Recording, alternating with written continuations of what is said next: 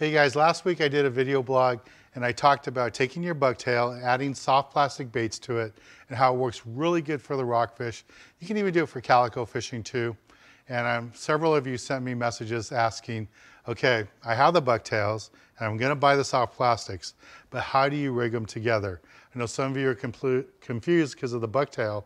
You didn't know how you get it on there and make it fit.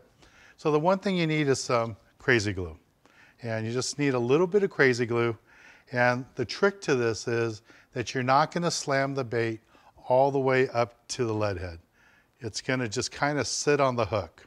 So you get a little bit of glue and you just touch it right in there. Just dip it on there like that. Then what you do now is you just take your tail, slide it onto the hook, and just put it on like you normally would.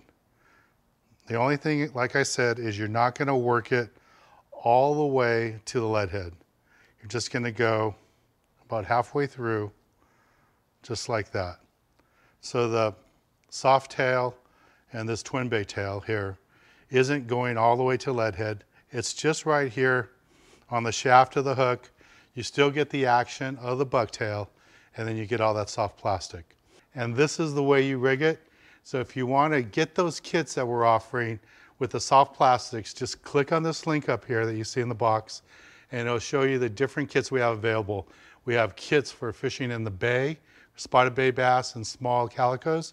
We have kits for calico bass fishing, halibut fishing, and we also have these big kits for fishing for the bucktails, using the bucktails and soft plastics for rockfish in the deeper water.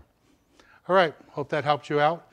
For more information, make sure you follow me on Facebook, Twitter, and Instagram, and subscribe right here to my YouTube channel. Thanks for watching.